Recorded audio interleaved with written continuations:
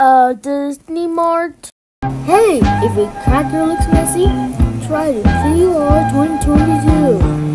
It'll get 500 cents, $2 cents. Wow, what a deal! But wait, the sales doesn't end yet. Right now you can get hard candy with just $6 pens and then 6 packs. Wow, I can't believe this sales ended.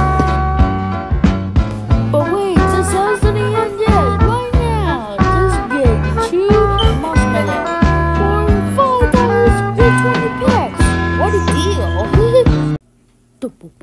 Uh, uh, Disney Mart. You have no idea, but it's a store for you.